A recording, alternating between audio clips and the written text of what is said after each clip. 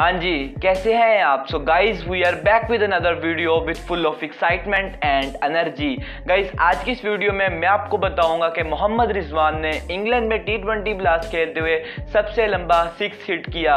और इसके साथ एंड पर मैं आपको ये भी बताऊँगा कि वो कौन सा पाकिस्तानी प्लेयर है जिसने पाकिस्तान की तरफ़ से तो वाइट बॉल क्रिकेट से रिटायरमेंट ले ली है, लेकिन वो वाइट बॉल क्रिकेट के अंदर कम बैक कर रहे हैं। क्या वो किसी और टीम की तरफ़ से खेलने जा रहे हैं? ये तो मैं आपको एंड पर बताऊँगा। तो बने रहिए वीडियो में एंड तक, क्योंकि ये जानना आपके लिए बहुत ज़्यादा ज़रूरी है। मैं बता रहा हूँ, आपके लिए बहुत ज़्यादा ज़रूरी है तो बने रहिए वीडियो में एंड तक। तो चलिए शुरू करते हैं वीडियो को। गैस कुछ दिन पहले इंग्लैंड में टी ट्वेंटी ब्लास्ट का मैच खेल रहे थे पाकिस्तान के wicket keeper batsman Mohammad Rizwan.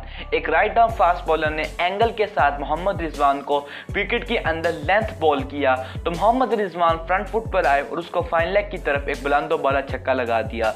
और कहा जा रहा है कि इस छक्के की जो लेंथ थी ना मीटर्स के अंदर, वो अप्रोक्सीमेटली 100 मीटर से ज़्यादा थी। और इस बात का अंदाज़ा आप विकेट कीपर फास्ट बॉलर और नॉन स्ट्राइकर एंड पर मौजूद बैट्समैन के रिएक्शन से देख सकते हैं।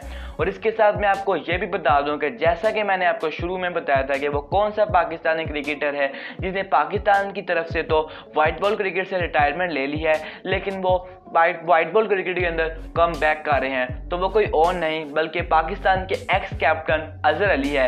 अजहर अली ने पाकिस्तान की तरफ़ से तो वाइट बॉल क्रिकेट के अंदर रिटायरमेंट ली हुई है, लेकिन वो इंग्लैंड के अंदर कुछ ही दिनों के बाद एक रॉयल लंदन कप होने जा रहा है। उसके अंदर नुमाइंदगी करेंगे और वो 50 ओवर्स के ऊपर मौजूद हो गए और उसके कुछ मैचेस अजहर अली इंग्लैंड में जाकर खेलेंगे। आज की इस वीडियो में इतना ही। चैनल पर नया तो भाई सब्सक्राइब कर दीजिएगा और नोटिफिकेशन को ऑन कर दीजिएगा, ताकि हम ऐसे एक दूसरे के साथ मिलते रहें। अपना बहुत सारा ख्याल रखिएगा। See you in the next video